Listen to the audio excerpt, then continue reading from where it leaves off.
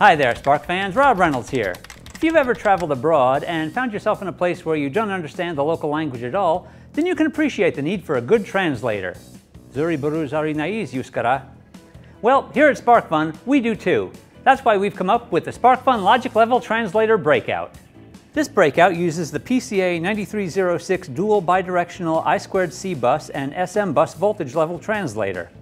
It's operational on the low side from 1.2 to 3.3 volts and on the high side from 1.8 to 5.5 volts.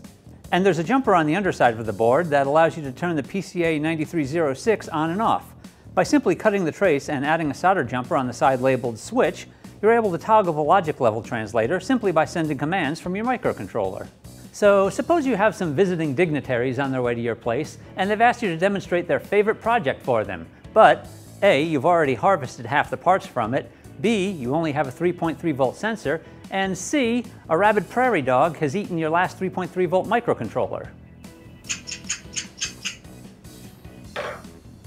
This looks like a job for the SparkFun Logic Level Translator breakout.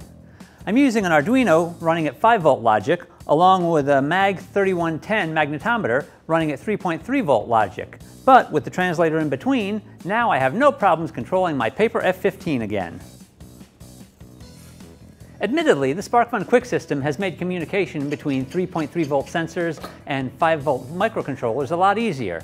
But for those times when you really need it, the SparkFun Logic Level Translator Breakout is a real lifesaver. Or at least a real project saver. Grab yours over at sparkfun.com and happy hacking!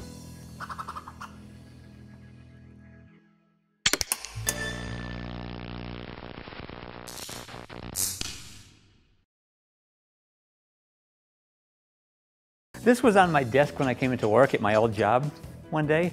It didn't have legs. Admittedly, and I touched it and it did that, but on its side, so it just went like this. There's absolutely no trouble operating. Stupid. What are you using this for a video today? I am. hey, hey.